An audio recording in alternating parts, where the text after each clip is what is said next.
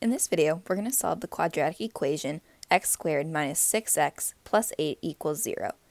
And to do that, we need to think of two numbers that are going to multiply to give us 8. And that's because we're looking at the coefficient in front of the x squared and the last number, so that would be 1 times 8.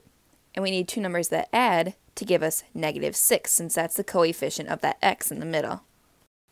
So if we think about two numbers that we can use, I know that negative 4 times negative 2 will give us positive 8, but when you add those together, you'll get negative 6. So we can rewrite that x squared minus 6x plus 8 as x minus 4 times x minus 2. And then that is still going to be equal to 0.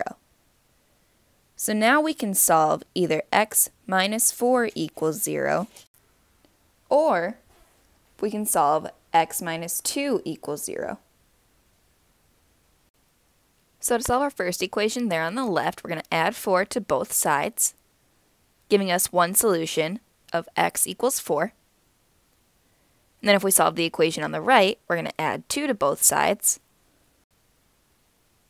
which gives us our other solution, x equals 2. So your solution to this equation would be x equals 4 or x equals 2.